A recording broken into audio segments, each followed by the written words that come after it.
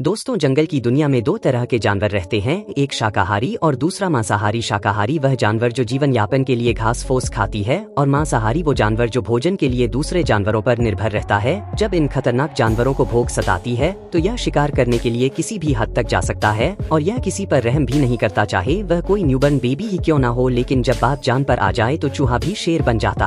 है को जानवर शिकार जानवर से बचने के लिए जी जान लगाकर दौड़ते हैं। आज की इस वीडियो में हम कुछ ऐसे ही मोमेंट्स को देखने वाले हैं, जहाँ शिकार शिकारी जानवर के ट्रिप से स्किप कर जाते हैं तो चलिए शुरू करते हैं।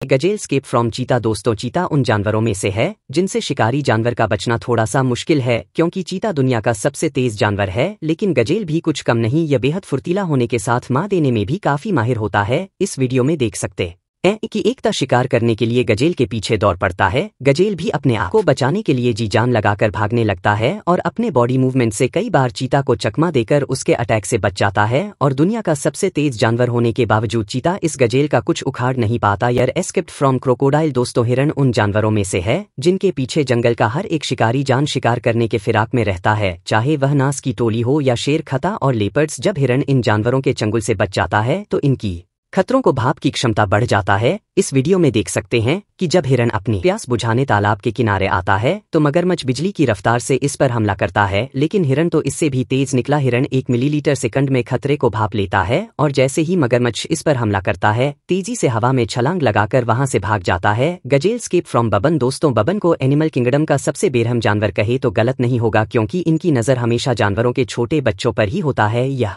अक्सर शेर चीता लेपर्ड जैसे जानवरों के बच्चे को शिकार कर बेरहमी के साथ इसे मार देता है। इस बार एक बबून। गजेल के बच्चे को उसकी नज़रों के सामने पकड़ लेता है, लेकिन माँ तो माँ होती है। गजेल एक कमज़ोर जानवर होने के बावजूद बाबू को अपने सिंग से मारने लगता है और बब उसके बच्चे को छोड़कर वहाँ से भाग जाता है। जेबरा स्केप फ्रॉम लाइन इस बार एक शेर की नज़र जेबरा की इस टोली पर पड़ता है। पहले तो शेर धीरे धीरे इनके करीब आता है और अचानक जेबरा की टोली पर अटैक कर देता है, जिसमें से एक जेबरा शेर की चंगुल में फंस जाता है और शेर अपनी नुकीले पंजों से जेबरा को जकड़ लेता है। एक पल के लिए ऐसा लगता है कि यह दिन जेबरा के लिए आखिरी। है, लेकिन जेबरा हार नहीं मानता और पुरजोर ताकत लगाकर शेर के जकड़ से छूटकर वहाँ से भाग जाता आता है और शेर खाली हाथ वहाँ से लौट जाता है। दोस्तों, वीडियो पसंद आया तो लाइक करें